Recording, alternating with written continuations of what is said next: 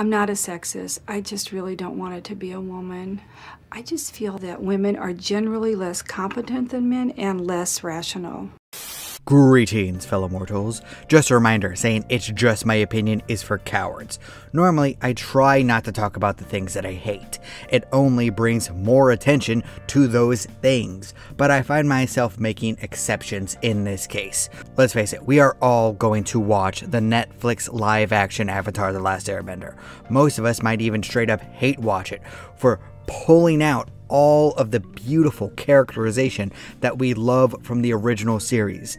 Me talking about it won't bring one more eyeball to this show, so I might as well talk about what I want to talk about because I love Avatar The Last Airbender. It's one of the best television shows ever made. And one of the most important aspects of the story is the main characters. The lore and the plot are one thing, but none of that matters if we take out the great characters, especially Katara. I'm not going to lie here. If anyone has a problem with Katara, I view that as a major red flag, even more so than other characters. Now, my favorite is Toph. She is literally the best, perfectly written as both a character and as a warrior. But Katara is special. She's the heart of the show. If someone looks at her characterization and writing and thinks that it's bad, then I know the person involved has a lot of issues that are not even worth touching right now. What is wrong with you? What is wrong with you? What is wrong with you? In almost every single way possible, Katara is the most important character in Avatar The Last Airbender. No, not the actual Avatar. Aang wouldn't have gotten even past the first few episodes without Katara. And not just because Katara got him out of the iceberg, I mean just pulling Aang and Sokka in the right direction.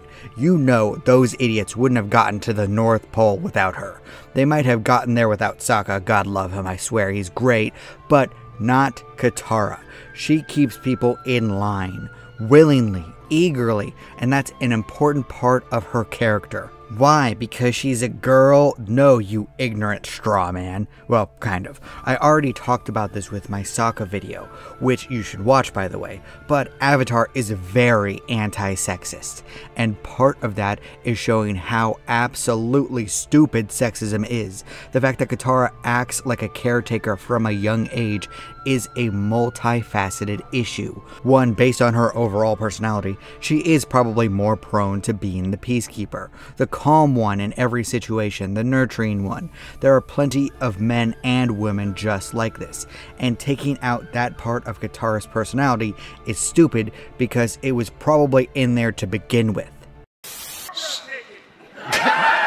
You're breathtaking.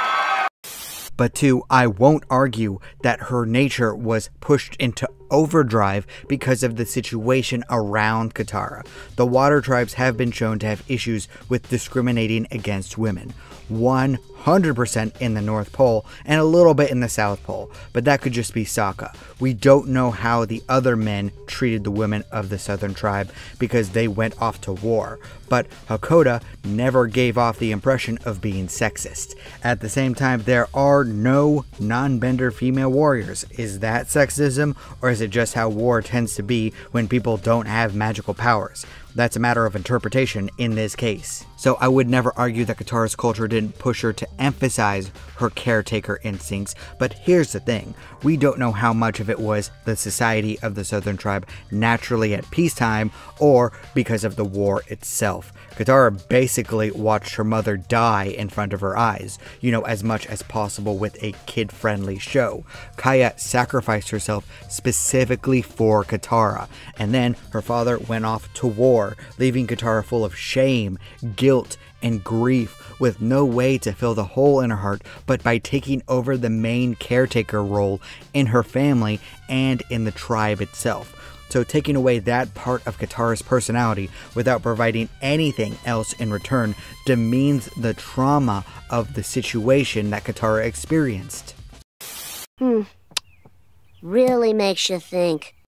Plus, Katara is not defined by her stereotypical mother role. She's a master warrior, she's the team healer, she's the least forgiving out of anyone in her group. She's biting towards those who irritate her and happy with the people in her life. And also, and I don't want people to forget this, she is a child. She's 14, maybe 15 by the end of the show. Imagine yourself at 14, having only ever known war, traveling the world to stop an evil tyrant, having no combat experience at all at the start. Of course, she's going to drift back into the stereotypical roles sewing, washing, cooking.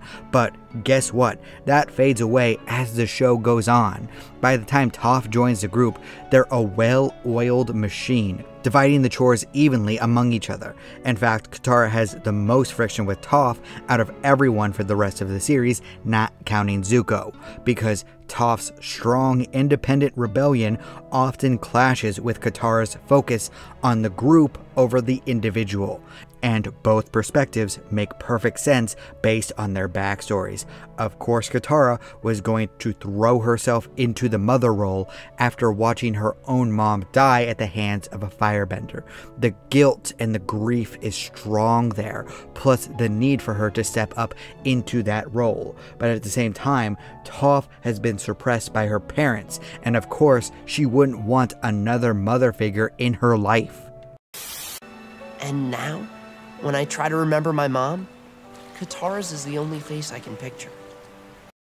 Katara's journey from a wannabe waterbender and surrogate mom to the greatest waterbender in the world, perhaps the greatest healer in the world, and the undisputed core of the group is what makes her journey amazing. Don't forget, she's the one who beat Azula in the end, using just raw technique and cunning, while Azula had a comet to make her 100 times stronger. Zuko was going to do it, but his journey was not that of raw strength. It was about realizing what was important in his life and that he defines his own honor, which he did with Katara. Katara's journey was to break out of the mold and reach greatness in her own way, along with coming to terms with her mother's demise, which she did with Zuko. And all of this originates from the fact that Katara was regulated to the stereotypical mother role at the start.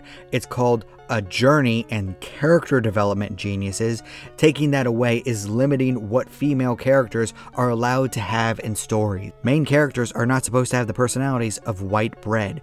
Katara oozes personality out of every pore, and I appreciate everything about her. You can't just drag out her caring attitude and her coping mechanism and replace it with nothing. She's going to be so boring. Someone who's motherly can also be kick ass. And to me, removing that part of her is 100 times more sexist than having Katara be the group mom. You're welcome to disagree with all this. That's fine. After all, everyone is entitled to their objectively wrong opinion. I'm not sexist. Being sexist is wrong. Yeah. And being wrong is for women. Hey, do you like stories about an interconnected world? Then consider giving my LPCO books a try. They are all connected in some way, but you can jump in at any point, unless it's a series. Then you have to start at the beginning. But I got three books out right now and three coming next year. You will not have to wait long for content. Either way, thank you. I appreciate you. Do not despair.